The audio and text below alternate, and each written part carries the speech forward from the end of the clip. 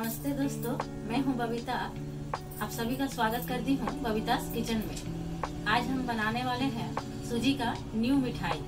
ये मिठाई न्यू है, एकदम बिल्कुल न्यू है। खाने में क्रिस्पी और कुरकुरा लगती है। ये मिठाई का खासियत ये है कि आप दो से तीन महीने तक आप स्टोर करके रख सकते हैं। और ये मिठाई न्यू है, क्योंकि यूट्यूब में भी आप सर्च करके देख लीजिए, नहीं मिलेगी। अब हम ये मिठाई बना के लोड अपलोड करेंगे, तब फिर आप मार के देखिए और बनाइए। इतना टेस्टी है एक बार बनाइएगा तो बार बार बनाइए।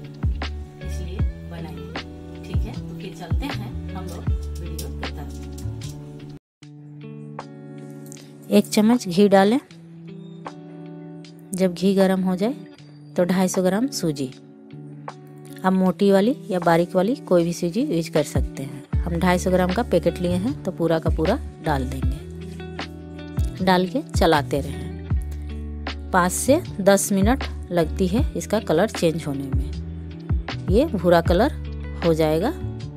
उसके बाद हम इसमें चीनी डालेंगे। देखिए, ये हो गया भूरा कलर। अब हम इसमें चीनी डालेंगे। हम 150 ग्राम चीनी डाल दे रहे हैं। हम अढ़ाई सौ ग्राम सूजी लिए हैं तो 150 ग्राम चीनी यूज़ कर रहे हैं। आप कम या ज़्यादा कर सकते हैं। अब हम गैस का आँच कम कर देंगे, ताकि चीनी नीचे से लगे नहीं। अब हम इसका चलाते रहेंगे। छोड़ेंगे नहीं, बिल्कुल, नहीं तो नीचे से लग जाएगी। अब ये इलायची डाल देते हैं। इलायची डाल के पाँच मिनट और चलाएँगे। आँच धीमी है तो चीनी पिघलने से, आराम से पिघल जाएगी। देखिए, पिघल गई चीनी अब देख सकते हैं, ये लगभग तैयार है। अब इसमें हम जो आपको ड्राई फ्रूट पसंद है, वो आप डाल सकते हैं। इसमें हम काजू, किशमिश और बादाम डाल रहे हैं। थोड़ा थोड़ा डाल देंगे थोड़ा थोड़ा बचा लेंगे ऊपर से गार्निशिंग के लिए। आपको जो पसंद है, वो डाल सकते हैं, जो नहीं पसंद है, वो नहीं डालें। अब इसको डाल के अच्छे से हम मिला देंगे।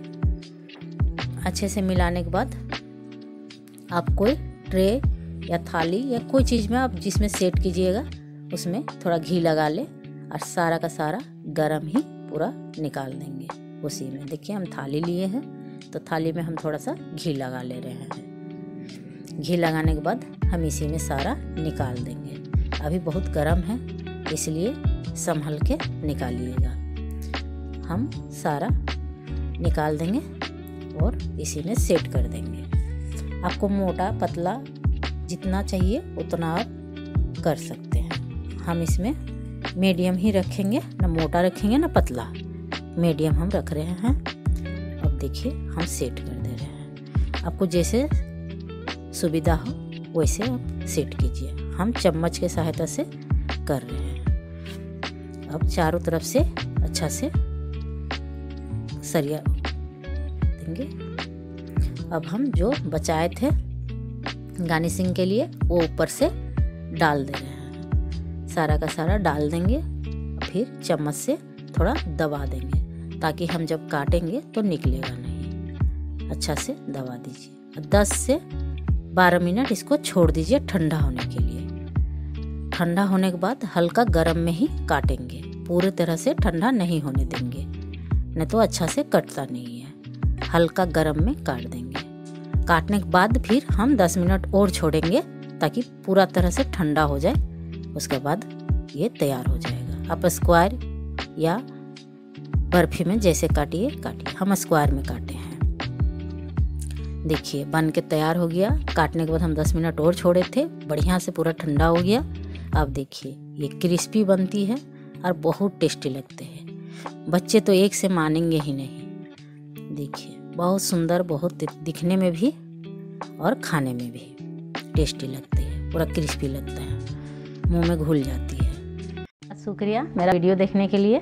आपको अच्छा अगर वीडियो लगता है तो आप शेयर कीजिए, लाइक कीजिए और कमेंट कीजिए। आप जल्द से जल्द बनाइए और बना के बताइए कि कैसा आपका बना।